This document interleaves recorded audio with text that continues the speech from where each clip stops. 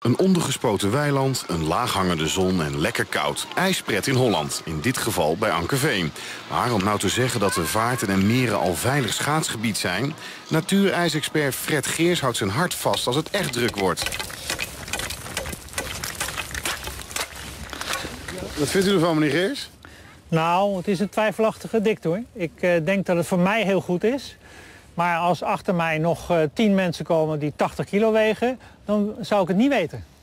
Onveilig dus. Ja, Hoewel het ijs dun is en kraakt, zijn de liefhebbers niet te houden.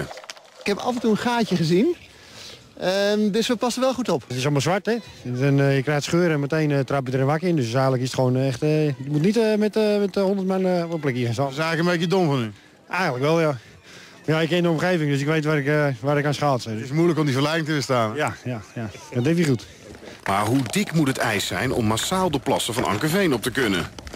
dan moet je denken toch aan eh, tussen de 8 en de eh, 12 centimeter. En hoeveel is het nu? eh, nu is het niet meer dan eh, een centimeter of 2, 3. Het, eh, Dus dit is echt onveilig. dit is onveilig. Belangrijkste nadeel van dun ijs, het breekt heel makkelijk.